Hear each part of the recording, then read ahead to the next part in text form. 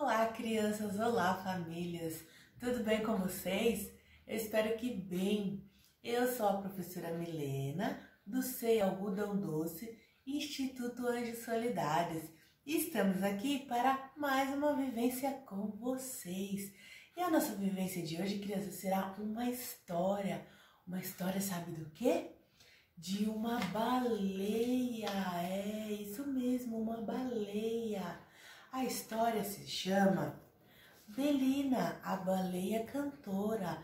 A nossa história vai falar de uma baleia que ela queria ser famosa, queria ser cantora. É uma historinha bem legal, tá? Então, para chamar a nossa historinha, vamos cantar uma musiquinha? Eu acho que vocês lembram dela. Ela é assim, ó.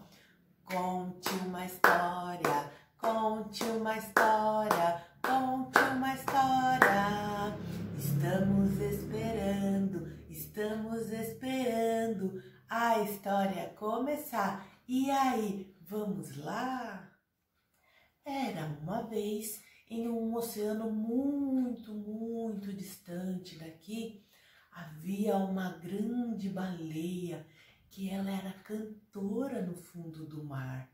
Isso, ela cantava para todos os seus amigos do mar e eles ficavam super felizes com o canto dela. Sabe por quê, crianças? Essa baleia que vivia no fundo do mar cantava óperas, ela adorava cantar músicas. E os seus amigos do fundo do mar gostavam muito de ouvir a sua música. Mas certo dia, Belina acordou e falou: Ah, quer saber? Estou cansada de cantar óperas aqui no mar para essas pessoas que não valorizam meu canto. Eu agora quero ser famosa, eu quero ir cantar lá na terra para os seres humanos, porque eu sei que lá eu vou ter muita fama, eu vou ser famosa e conhecida. Então ela falava assim: Eu tenho esperança que algum dia algum ser humano vai me encontrar cantando. Então ela subia lá para cima, ficava com a cabeça para fora do mar e começava a cantar ópera. E ela cantava Figaro, Figaro, Figaro, Figaro, Figaro, Figaro, Figaro, Figaro.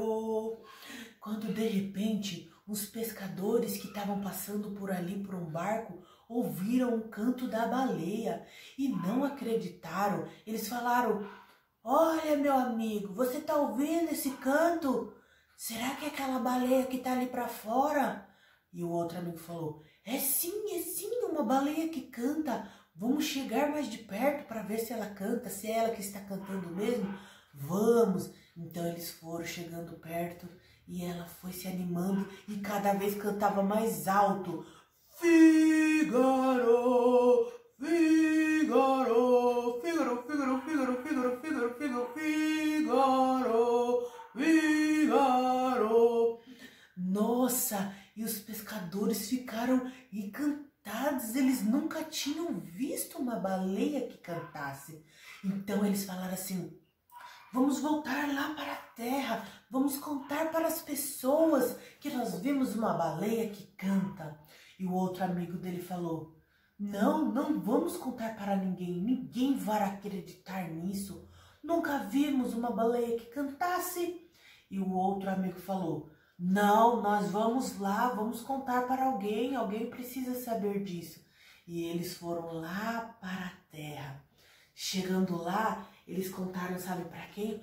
Para o maestro que cantava ópera também. E o nome do maestro era Tic Tac.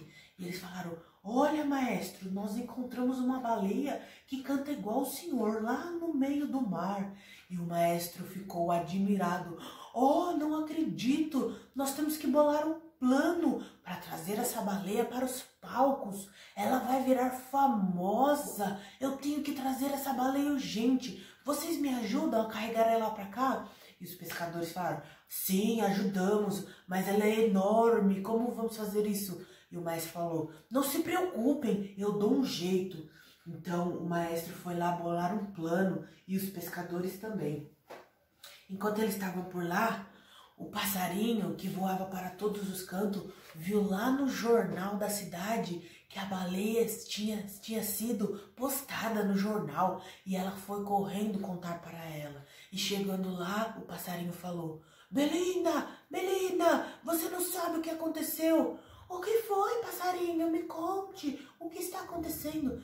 Eu vi sua foto lá no jornal na cidade dos seres humanos e eles querem pegar você para levar para a terra. Vim falar para você ficar esperta. Esperta por quê?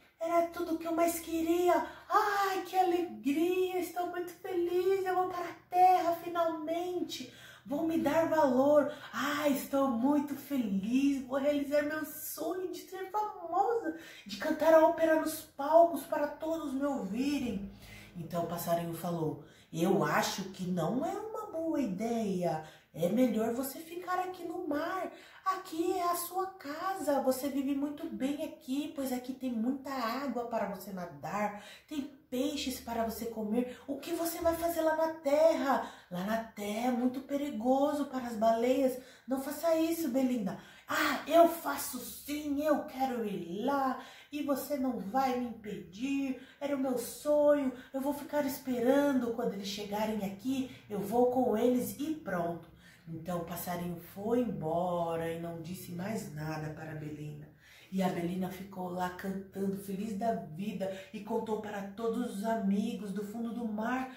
Gente, eu vou ficar famosa, vou para a terra. Vocês ouviram isso? Ai, que alegria! E ela ficou cantando Figaro, Figaro. Cantava ópera o dia inteiro para os amigos do mar. E os amigos do mar falaram para ela: Belina, é muito perigoso você fazer isso. Não vai para a terra, não deixa nós aqui. Ai, eu vou sim, eu não quero nem saber. Eu gosto muito da carreira de famosa. Eu vou cantar a ópera nos palcos e vocês vão me assistir pela TV. Então os amiguinhos dela desistiram de falar alguma coisa. Certo dia, a Belina estava lá na margem do mar cantando, esperando. De repente, ela viu o barco chegando. Os pescadores estavam vindo para buscar ela. Junto, sabe com quem? Com o maestro Tic-Tac. E o maestro só ficava de longe olhando. Quando ele avistou a baleia cantando Figaro, Figaro, Figaro, Figaro, Figaro, Figaro, Figaro. Ele não acreditou, ele meu Deus, vocês tinham razão. Essa baleia, ela canta ópera. Ela vai ficar famosa junto comigo nos palcos. Vamos arrumar para levar ela. Então os pescadores amarraram uma corda e iam jogar na baleia. Quando eles arremessaram a corda, a baleia ó, fugiu, deu no pé. Ela ficou com medo. Ela pensou que eles iam matar ela, então ela fugiu, não teve coragem de ir para a terra. E o maestro dizia: Venha, baleia, venha, venha conosco, você vai para a terra. Mas ela não teve coragem, ela ficou escondida ali por baixo, no fundo do mar, só olhando. Ela não teve coragem, criança. Então o maestro Tic-Tac com os pescadores voltaram para a terra sem a baleia decepcionados, tristes, chateados.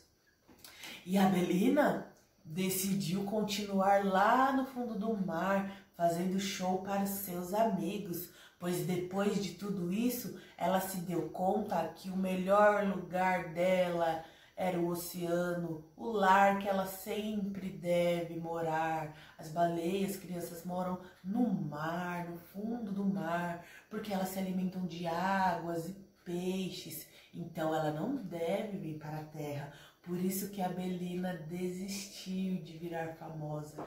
E ela ficou cantando sempre ópera só para os seus colegas lá do fundo do mar. E essa é a nossa história de hoje. Eu espero que vocês tenham gostado, tá ok? E o nosso vídeo de hoje já vai ficando por aqui, crianças, mas amanhã tem mais. Eu espero todos vocês. E agora eu quero deixar um, um grande beijo para todos vocês. Quero que vocês se cuidem, fiquem com Deus e até o próximo vídeo.